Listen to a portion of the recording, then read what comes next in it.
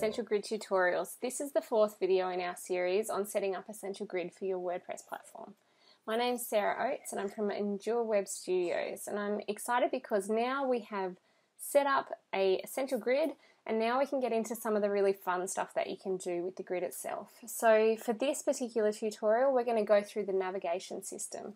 So there's some good filters that you can use with Essential Grid that make it a lot more practical for people. So I've got two examples for you here. One is using blog posts and one is using photos.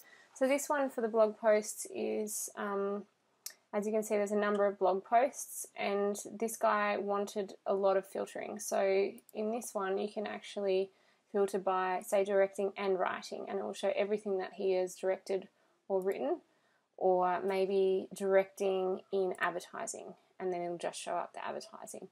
Um, so that gives a lot of functionality for someone who's trying to display off a portfolio. The other example is over here for a photo gallery. So um, this is for a photographer. She wanted to have one portfolio rather than having a number of pages that one had weddings and one had whatever. Um, she decided to do it this way. And so this way you can click through and it will filter down anything that relates to the particular tags. And for this one, we tagged them um, and gave them multiple tags. So sometimes they um, images might show up in multiple areas, like families and children. Um, they'll show up, for example. So we're going to show you in the back end how to um, make this happen. Okay, so let's head into the back end and um, see how I've done those settings. So what we're going to do is come in here, go to settings of the particular grid, so once you've got your whole grid set up, if you don't know how to do that, feel free to go back to the last video.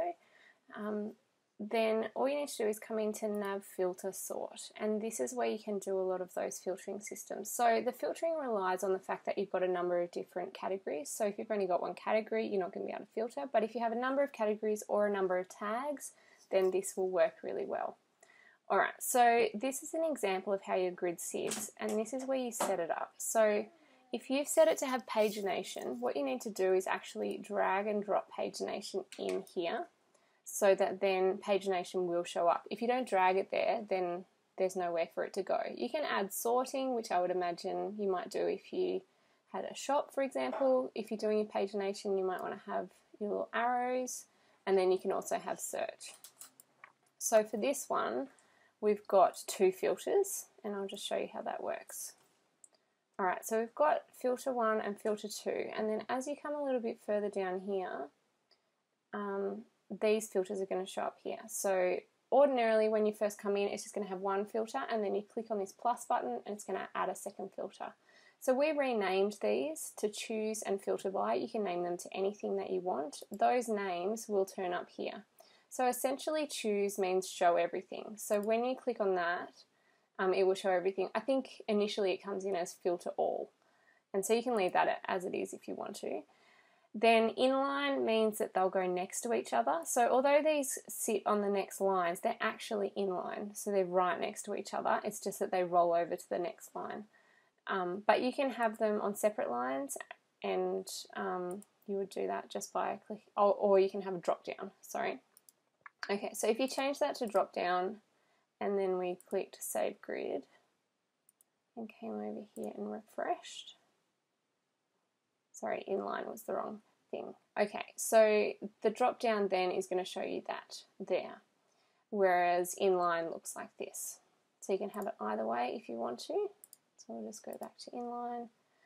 Um, the thing if you want to have it on two lines, which I was explaining before, is here. So you can just put that above there if you want to have them above each other or if you want to have them next to each other. Have it like that. And you can reorder them obviously. Okay, then you can choose if you want to show how many things are in those elements. So if we turn those on, um, I'll show you in a minute, and then you can select which ones are in it. So it's going to show all of the categories or the tags that you selected back here in source they're all going to show up every time, but you just tick box which ones you want to actually show. So I've just tick boxed those and then you can reorder them. So if they're not in the right order, then you can move them around. You can select, we looked at this in the last video, but whether you want it descending or ascending in terms of date or, um, so there's lots of options there. And then when you click save, then here you go. We'll refresh it. So now the top one is showing how many live in those particular categories. So it's pretty easy to add filtering. Um, you can just have one lot of filtering and you can also select how that filtering looks. So this particular filtering, this happens in the skins. Um, up here, the navigation, choose skin, text light. I don't understand why they've written it the way they do. In my mind, it's opposite to that. So text light shows up like this. I haven't done anything, that's just how it looks, text light.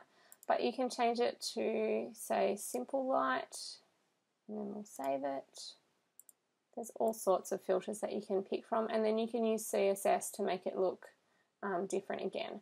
So another variation of that is this one here. So in this portfolio here, you can see they all come there. It's the inline, it starts with the filter all. We didn't bother changing that and it actually highlights the one that you're in as you go through it.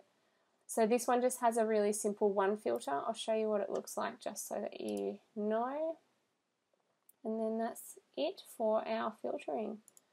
So coming to the settings, again go to nav filter. So you can see here I've got pagination on this one and one filter.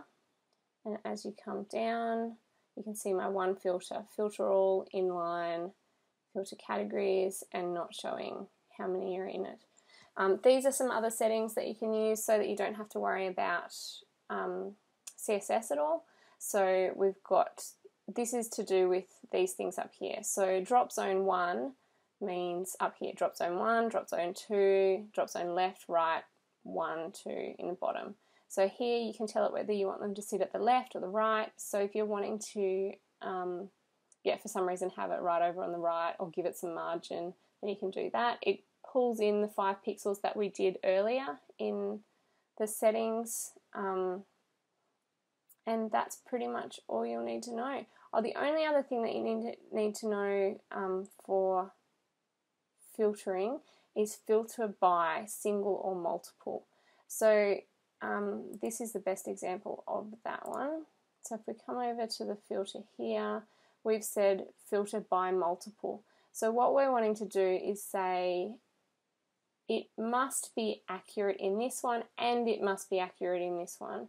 Therefore, so multiple and.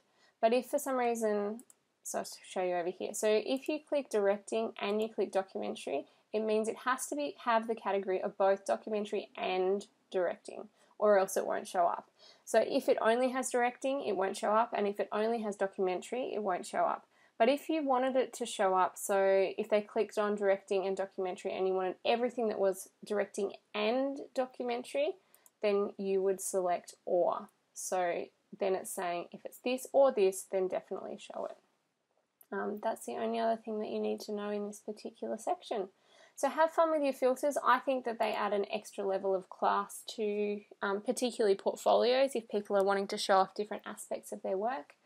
Um, so have fun and hopefully you get some really good results from it. In the next video, we're going to be looking at how you can edit your skins to make them look um, however you would like them to look if one of the predefined settings isn't quite what you're looking for. So check back in for the next video. Thanks, bye.